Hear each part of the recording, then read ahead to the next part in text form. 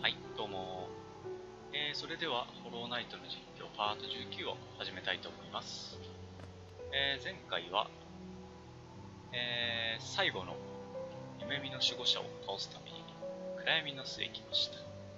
で、暗闇の巣のこの駅からずーっと左に行って、この獣の巣っていうところに入って、まあ特にボスはなかったので、あっさりと倒してしまったんですけど、無事3人目が終わりました。目の封印が解けて、まあ、ここに行けば何かあるんじゃないかなっていうところですね。てなわけで、今回はそこに行ってみたいと思います。さあ、最初に入った時とはなんか、様相が変わってしまってますね。最初さあさあさあちゃオレンジなんだけど大丈夫？わお。めっちゃオレンジ。さあ、封印が解けました。解けちゃいました。すごい。さあ、化け物がいる予感がするぜ。さあ、行くぜ。今度行くぜ。お、うん。なんかすごい模様が出てきた。歩いてるところが光っている。さあ、なんだかボスの感じがすごいけど、休む？調べる。つわよ、運命に縛られながらも、そなたはこの世界の状態を理解している。キャラクターメニューでゲーム達成率を確認できるようになりました。バローネスとは再び完全となるだろう。お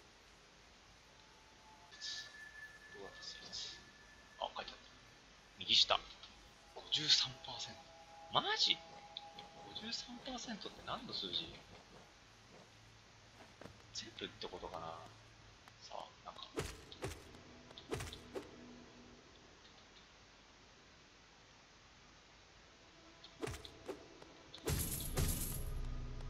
あー、なんか、強そうなのがいらっしゃるね。え、こっち向いてるやん。っちゃこっち向いてるやんけ。どう？も、こんにちは。何、これ。これ全部壊してくださいって感じ。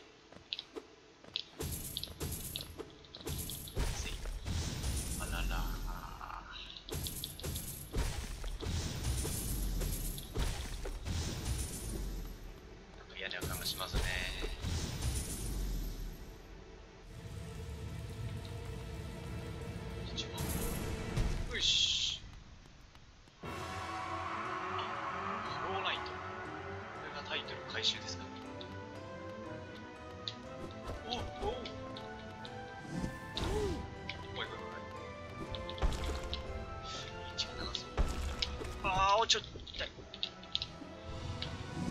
あおあおあおあお。痛い痛い痛い痛い。マジで。マジで。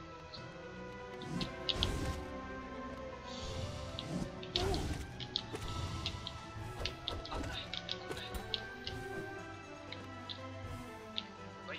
あー、ちょちょちょちょ。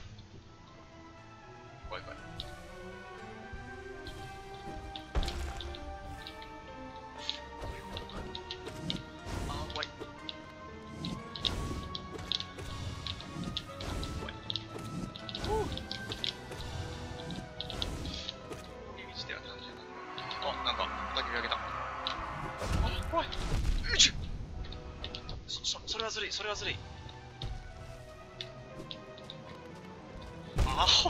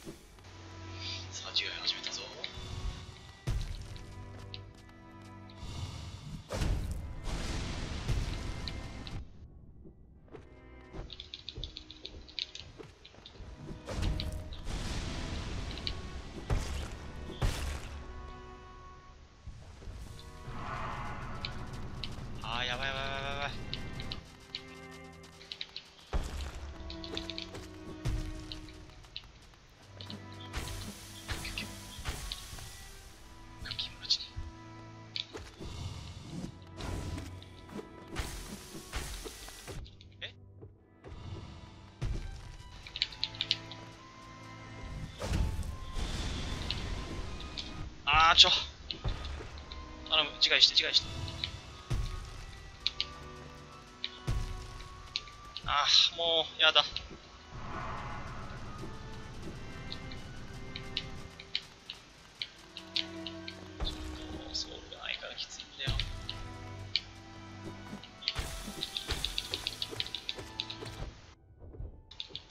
そういうのよくない。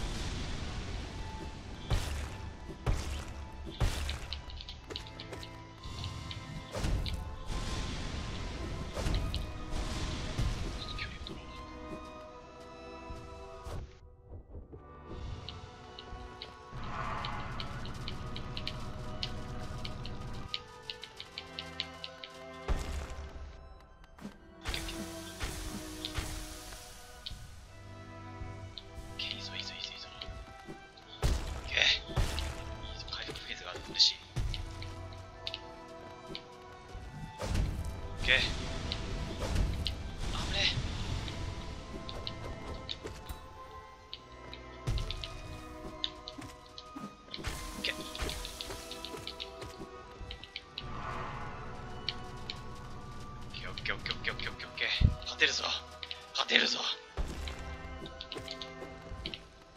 えちょね。違いしろ違いしろ違いしろ。ちょ次の段階を残しているの？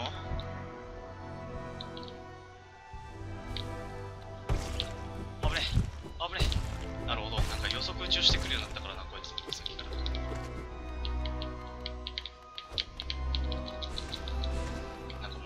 ゃ疲れてる。よ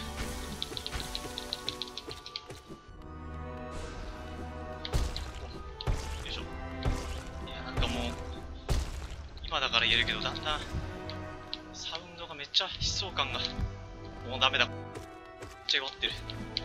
あーそれ以上自分を責めないで。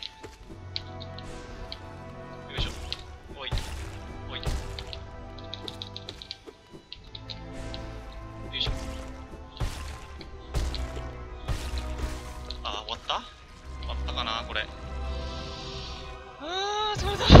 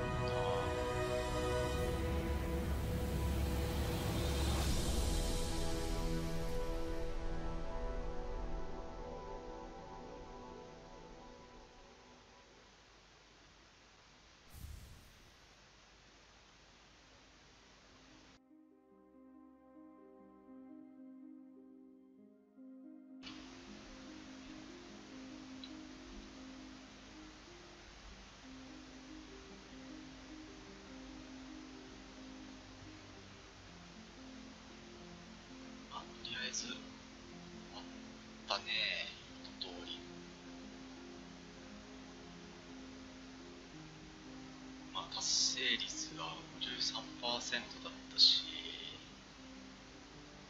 前にホーネット倒した時にゲットした王の封印。なんかもっと下の方に行けるようになるみたいな。と言われてたけど結局そっちには行ってないから、まあ、まだまだやらなきゃいけないことはたくさんあるんでしょうね。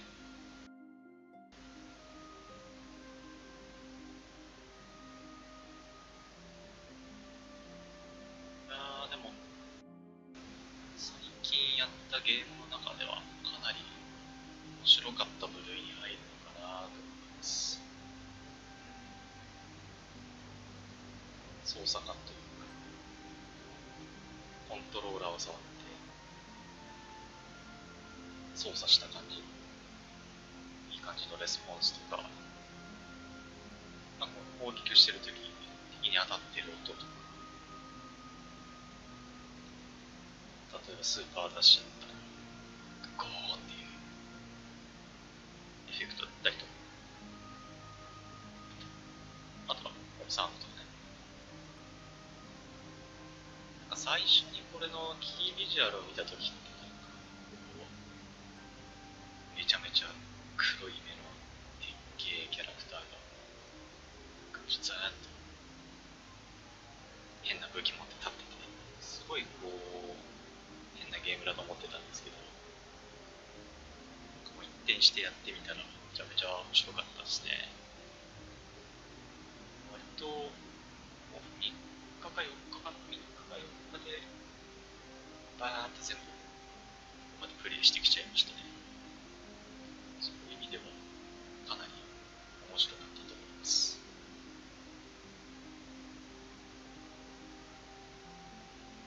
はいまあまだやり込み要素がめちゃめちゃありそうな感じがするんで引き続きやっていこうかなと思います。Congratulations! あなたは試練を乗り越え見事に勝利を収めました。今回の世界を楽しんでいただけたでしょうかまたこの先の冒険にお会いしましょう。押します。ゲーム達成。なんていうか ?13%。しょぼ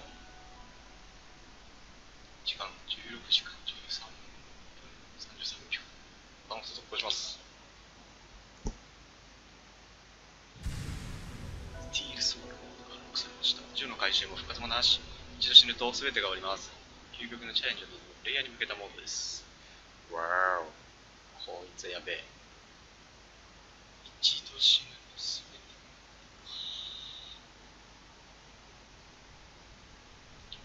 これはやばそう。まあ、人生に、ね、リスポンなんてないから、これが本来。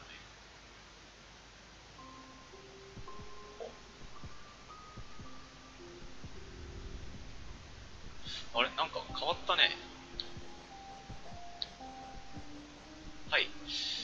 じゃあ、まあ、ひとまず、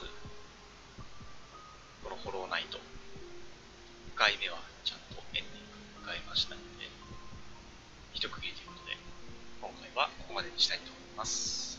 ご視聴ありがとうございました